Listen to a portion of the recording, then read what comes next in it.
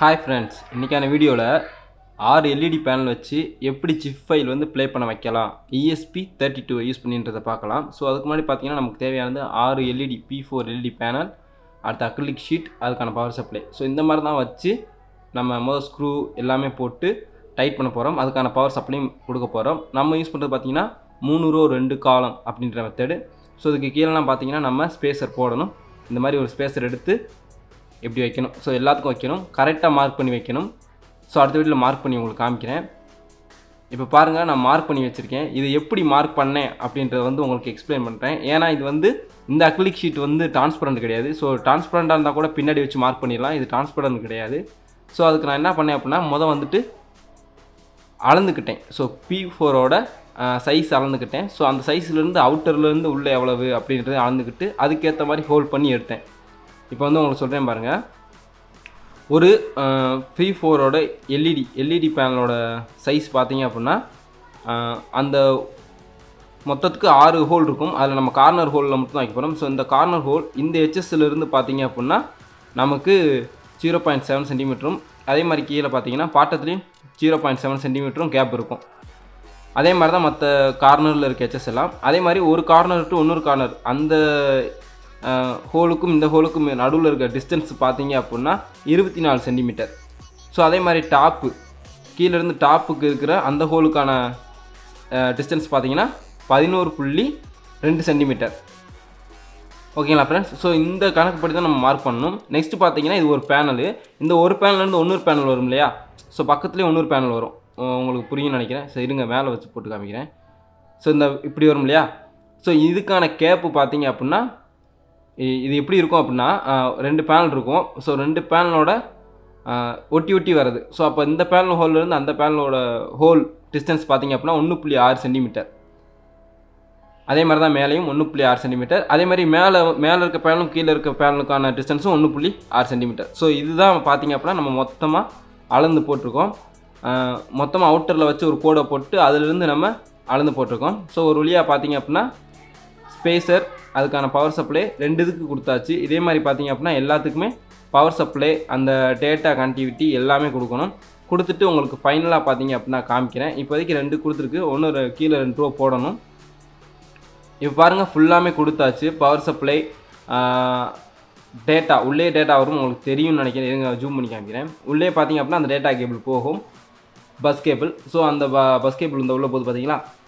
இந்த கேபிள் பார்த்தீங்கன்னா கரெக்டாக அந்த கார்னர்லேருந்து ஒன் டூ த்ரீ கீழே ஃபோர் ஃபைவ் அதுக்கு கீழே சி ஒன் டூ அதுக்கு கீழே த்ரீ ஃபோர் அதுக்கு கீழே five six so okay friends உங்களுக்கு கோடையும் கொஞ்சம் எக்ஸ்பிளைன் பண்ணிடுறேன். இப்போ கோடுன்னு நீங்கள் எடுத்துக்கிட்டீங்க அப்படின்னா இந்த லைப்ரரி ஃபைல்ஸ் எல்லாமே டிஃபால்ட்டாக இருக்கும். ஸோ உங்களுக்கு ஏதாவது டவுட் இருந்துச்சு அப்படின்னா இதெல்லாம் ரெஃபர் பண்ணிக்கோங்க.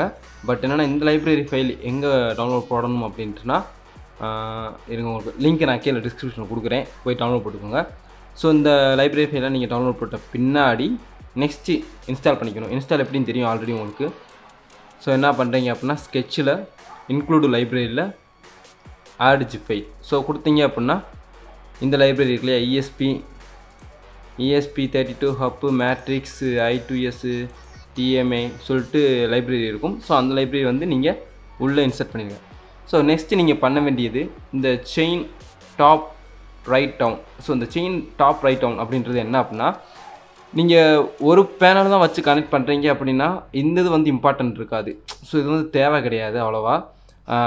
ரொம்ப இம்பார்ட்டன்ட் கிடையாது இது. ஆனால் பட் நீங்கள் வந்துட்டு ஒரு ரெண்டு மூணு பேனல் வந்து வைக்கிறீங்க அப்படின்னா இந்த இது வந்து கண்டிப்பாக இம்பார்ட்டண்ட்டாக தேவைப்படும். ஸோ இது எங்கே இடிக்கும் அப்படின்னு பார்த்தீங்க அப்படின்னா உங்களுக்கு வந்து காமிக்கிற ஒரு நிமிஷம் இருங்க.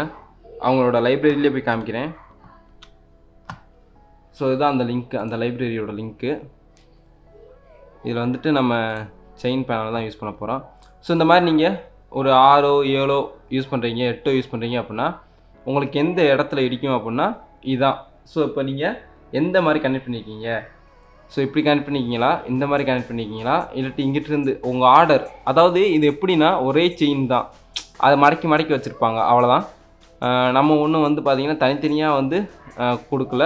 ஒரே ஒரே சீரீஸ் மாதிரி தான் ஸோ ஒன்று ரெண்டு மூணு சொல்லிட்டு வரிசையாக கனெக்ட் பண்ணிவிட்டு அதை மடக்கி மடக்கி வச்சுக்குவோம். ஸோ மடக்கி மடக்கி வைக்கிறப்ப பார்த்தீங்க அப்படின்னா எந்த ஆர்டர்லேருந்து கனெக்ட் பண்ணுவீங்க இங்கே இஎஸ்பி கனெக்ட் பண்ணிக்கிங்களா இல்லாட்டி இந்த சைட்லேருந்து இஎஸ்பி கனெக்ட் பண்ணிக்கலாம் ஸோ உங்கள் ஆர்டர் எந்த மாதிரி ஆர்டரில் நீங்கள் வச்சுருக்கீங்க? ஸோ அந்த ஆர்டரை வந்து நீங்கள் டிஃபைன் பண்ணுற மாதிரி இருக்கும். ஸோ நான் இங்கே வச்சுருந்தேன். அதனால் பார்த்தீங்கன்னா chain top right down use பண்ணியிருக்கேன். நீங்கள் இந்த மாதிரி ஆர்டரில் வச்சுருந்தீங்கன்னா இந்த மாதிரி யூஸ் பண்ணணும். ஸோ நீங்கள் எந்த மாதிரி டிஸ்ப்ளே பண்ணுறீங்களோ அதுக்கேற்ற மாதிரி மாற்றிக்கோங்க நெக்ஸ்ட் பார்த்தீங்க அப்படின்னா இங்கே உங்களோட பேனல் சைஸு ஸோ என்னோட பேனல் சைஸ் பார்த்தீங்கன்னா அறுபத்தி நாலுக்கு முப்பத்தி ரெண்டுன்ற பிக்சலு உங்களோட பேனல் சைஸ் அறுபத்தி நாலுக்கு அறுபத்தி நாலாக இருக்கலாம் நூற்றி இருபத்தெட்டுக்கு அறுபத்தி நாலாக இருக்கலாம். ஸோ என்ன வேணா இருக்கலாம் அந்த பேனல் சைஸு அடுத்து பார்த்தீங்கன்னா எத்தனை ரோ எத்தனை காலம்? நான் வந்து பார்த்தீங்கன்னா மூணு ரோ ரெண்டு காலம் யூஸ் பண்ணுறேன் நீங்கள் பார்த்தீங்க அப்படின்னா இதெல்லாம் பார்த்தீங்கன்னா மூணு ரோ மூணு காலம். நீங்கள் எந்த மாதிரி யூஸ் பண்ணுறீங்களோ அந்த மாதிரி யூஸ் பண்ணிக்கோங்க. ஸோ இதெல்லாம் தான் நீங்கள் சேஞ்ச் பண்ணுற மாதிரி இருக்கும். இது போக பார்த்தீங்க அப்படின்னா எனக்கு ஒரு சில பக்லாம் வந்துச்சு. உங்கள் லாஸ்ட்டில் டெமோவில் பார்க்குறப்ப தெரியும். ஸோ அந்த பக்கெல்லாம் பார்த்தீங்க அப்படின்னா ஃப்ளிங்கரிங் அதாவது பார்த்தீங்கன்னா அலாலையாக வர்றது. ஸோ அந்த அலாலையாக வர்றதுக்கெலாம் பார்த்தீங்க அப்படின்னா என்ன பண்ணலாம் அப்படின்னா ஓரளவு கம்மி பண்ணலாம். பட் என்னென்னா கம்மியாக பண்ண முடியல. நானும் அவங்க கெப்பாசிட்டிலாம் போட சொன்னாங்க போட்டு பார்த்தேன் கம்மியெல்லாம் ஆகலை. ஸோ இந்த இடத்துல என்ன பண்ணலாம் அப்படின்னா கீழே இறக்கிட்டு வந்தீங்கன்னா இது வந்து அந்த ஹெட்டர் ஃபைல் ஸோ இந்த ஹெட்டர் ஃபைலை நீங்கள் எடிட் பண்ணணும். அதில் பார்த்தீங்க அப்படின்னா மெகா ஹெட்ஸ் வந்து பார்த்தீங்க அப்படின்னா பதினஞ்சு தான் இருக்கும் டிஃபால்ட்டாக ஸோ இந்த மெகா ஹெட்ஸ் பதினஞ்சு மெகா ஹெட்ஸ் அதாவது இரநூத்தி ஐம்பத்தாறாவது லைனில் பதினஞ்சு மெகா ஹெட்ஸ் தான் பார்த்தீங்க அப்படின்னா இங்கே டிஃபைன் பண்ணி வச்சுருப்பாங்க. நம்ம வந்து அதை இருபதாக மாற்றிக்கலாம் அதே மாதிரி பார்த்தீங்க அப்படின்னா ரெஃப்ரெஷ் ரேட் வந்து ஐம்பதாக வச்சுக்கோங்க. ஸோ இந்த ரெண்டு எடிட் பண்ணுறப்ப கொஞ்சம் லைட்டாக கம்மியான மாதிரி இருந்துச்சு. மற்றபடிலாம் பார்த்தீங்கன்னா அவ்வளோ பெரிய டிஃப்ரெண்ட்லாம் இல்லை. நீங்கள் லாஸ்ட்டாக ஃபைனல் அவுட்புட் பார்க்குறப்பலாம் தெரியும். ஸோ மற்ற கனெக்ஷன்ஸ் எல்லாம் நான் கரெக்டாக கொடுத்துட்டேன். இருந்தாலுமே எனக்கு நாய்ஸஸ்லாம் இருக்க தான் செய்யுது. ஏன் அப்படின்னா நம்ம வந்து இஎஸ்பி தேர்ட்டி டூ இந்த மாதிரி இதெல்லாம் பண்ணுறப்ப நம்ம என்ன சொல்கிறது எவ்வளோ தான் அக்யூரேட்டாக பண்ணாலுமே நமக்கு வந்து அங்கங்கே நாய்ஸ் வரத்தான் செய்யும். முடிஞ்ச அளவு ரிமூவ் பண்ணலாம். பட்டு ஒரு சில பேர் டோட்டலாக ரிமூவ் பண்ணுறாங்க நான் பார்த்த வரைக்கும் இங்கே என்ன நடக்குது அப்படின்னா இஎஸ்பி தேர்ட்டி டூ வந்து பார்த்தீங்க அப்படின்னா ஒரு பேனலை வச்சு ரன் பண்ணுறப்ப எந்த ஒரு நாய்ஸும் எந்த ஒரு இதுவுமே ஜென்ரேட் பண்ண மாட்டேங்குது. பட்டு அப்படியே கூட கூட ஸோ பேனல் நம்பர்ஸ் கூட கூட என்ன ஆகுது அப்படின்னா பாசிங் டேட்டா வந்து டிலே ஆகுதுன்னு நினைக்கிறேன். ஸோ பாசிங் டேட்டா டிலே ஆகுதுனால என்ன நடக்குது அப்படின்னா அந்த அலலையாக வரதுக்கான வாய்ப்பு வந்து அதிகமாகவே இருக்குது ஸோ அதே மாதிரி தான் இங்கேயும் வருது. ஸோ அவங்க சொன்ன அந்த கெப்பாசிட்டர் இந்த செட்டிங்ஸ்லாம் மாற்றி பார்க்குறப்போ கெப்பாசிட்டர் போட்டேன் அப்படி தான் எந்த ஒரு சேஞ்சஸ் தெரில பட் செட்டிங்ஸ் மாற்றுறப்போ ஓரளவு சேஞ்சஸ் தெரிஞ்சிச்சு. ஸோ கோடிங்கை பற்றின விளக்கம் வந்து அவ்வளோதான் நெக்ஸ்ட்டு வாங்க டெமோக்கு போயிடலாம். இப்போ பார்த்தீங்க அப்படின்னா நம்ம ஆல்ரெடி ஒரு போர்டு வந்து போட்டிருக்கோம். இஎஸ்பி தேர்ட்டி டூ வச்சு ஹப்பு செவன்ட்டி ஃபைவ் கனெக்ட் பண்ணுற மாதிரி ஒரு போர்டு வந்து மேக் பண்ணியிருக்கோம்.